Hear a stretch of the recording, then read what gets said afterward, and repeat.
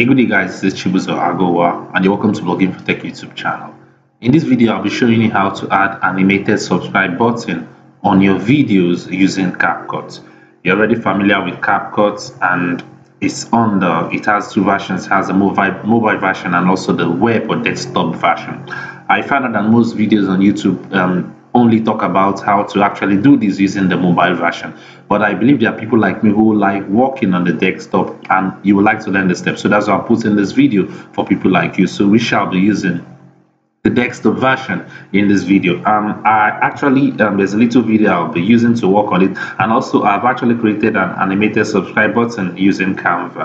And i'll be giving this um, a file out that contains lots of animated subscribe button once this video reaches 100 likes. So we can easily push um, hit the like button and also um, you can also as well turn on the subscribe button so that you be part of this channel. But if in case if you don't know what to actually do here is a um, technology related channel whereby we do share tutorial periodically. So having known that let's get down to business. So the first thing you have to do is to open your CapCut. I've actually downloaded and installed CapCut on this very PC I'm using. So you first of all open your CapCut. You see something like this. Then you click on start creating then the CapCut um, text version will open and this is it. So now the first thing I'll have to do is I have to import those two videos I actually told you about which is the little um the few seconds video I recorded and also the animated um, subscribe button with the green screen I actually created on Canva. So click on import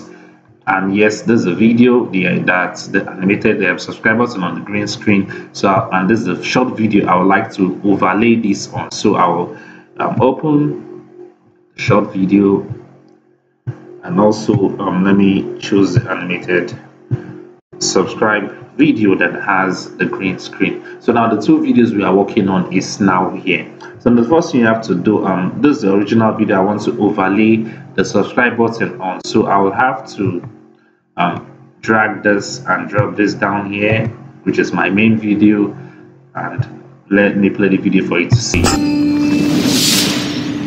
welcome to Blog Infotech YouTube channel. A little video we shall be working on. And after dragging the video, um, let's now drag our subscribe I animatable that has a green screen. Okay, it's a little bit lengthier than the video, so let me just shift this down here and something like this. I don't want it to start from the beginning. Okay, I think this should be cool. Let me play it alone and see how it's saying. Okay, so fast play um, this video is originally on that video that um, I want to overlay it on. But now uh, we'll have to remove this green screen. So how can you do that? If you you first of all select the video which is the one the green the green screen that has the animated subscribe button. Now you now look at the right portion of um, my cursor is actually moving right so now you now click on you see it has to be on video then you now click on this which is the output as you can see once you click on output now you now select what chroma key.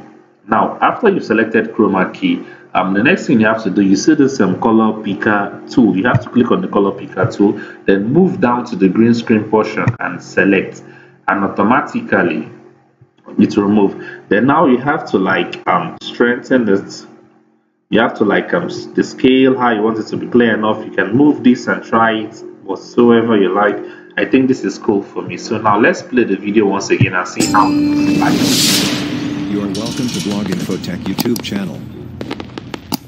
As you can see, it's now overlay on it. So this is how most people um, that actually edit or create videos on YouTube.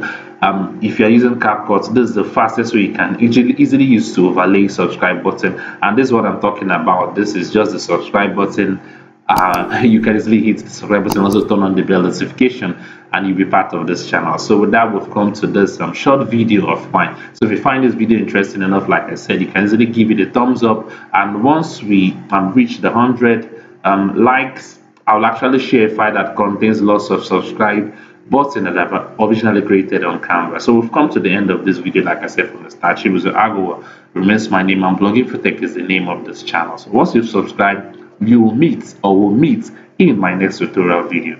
So um, if you're still confused, you can go to the comment section and ask a question and I will attend to you speedily. So see you in my next video. Bye bye for now.